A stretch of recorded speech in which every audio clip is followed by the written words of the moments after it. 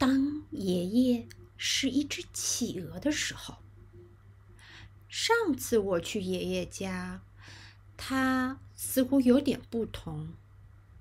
他说了很多关于钓鱼的事。他的衣服不那么合身。他在洗手间待很久。也许他只是变老了。总在最奇怪的地方找到它。这一切都有点奇怪。然后有一天，动物园打电话来。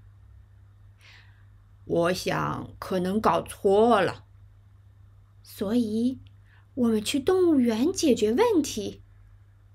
企鹅回到企鹅圈。